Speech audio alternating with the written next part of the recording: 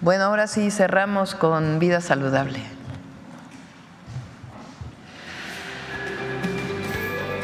Todas las personas tenemos derecho a una vida saludable. Sin embargo, alrededor de 2.8 mil millones de personas en el mundo no tienen la posibilidad de ejercer ese derecho. Es decir, la tercera parte de la población mundial. Por esto, este Día Mundial de la Alimentación está dedicado al derecho a consumir alimentos sanos para tener una vida y un futuro mejores. Justamente por ese compromiso con la creación de una sociedad más justa y más saludable, hay que proteger a las niñas y niños en la escuela, donde adquieren los hábitos y conocimientos que les acompañarán toda la vida. Durante décadas, las y los estudiantes tenían acceso a alimentos procesados que por su exceso de sal, azúcar y grasa ponían en riesgo su salud. Ahora, las escuelas serán el espacio en el que niñas, niños y adolescentes accedan a una alimentación sana y adecuada, que les permita gozar de salud y bienestar, al mismo tiempo que protege al medio ambiente. Para conseguirlo, el pasado 30 de septiembre se publicaron en el Diario Oficial de la Federación las medidas que garantizan a las y los estudiantes nutrición y salud desde los primeros años de vida.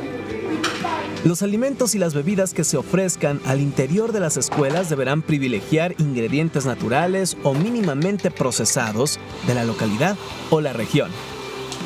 Y si sus empaques tienen sellos de advertencia, no podrán estar en las escuelas. Las niñas y los niños tendrán al alcance verduras y frutas regionales y de temporada. Si se trata de alimentos de origen animal, se deberá ofrecer pescado y aves como pollo y pavo, magros y sin piel, asados, horneados o cocidos.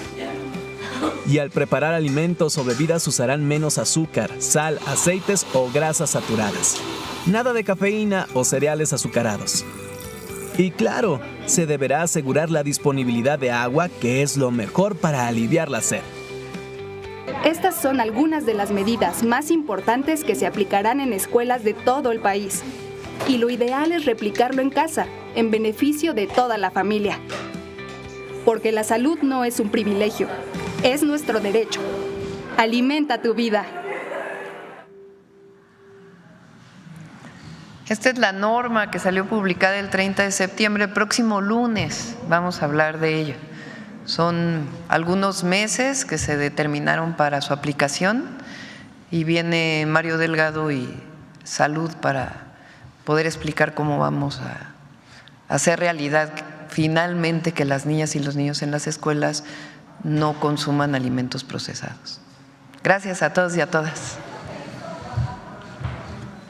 Muchas gracias por haber visto este video. Recuerda que puedes suscribirte al canal y activar la campanita para que te lleguen todas las notificaciones. Nada más ve a la campana y ponle todas. Que no se te olvide darle like al video, compartir y dejar algún comentario. Asimismo te invito a mis otros dos canales que es Mate Vlogs y James Vlogs. Y te dejo con las recomendaciones de estos videos. Cuídate mucho. Bye.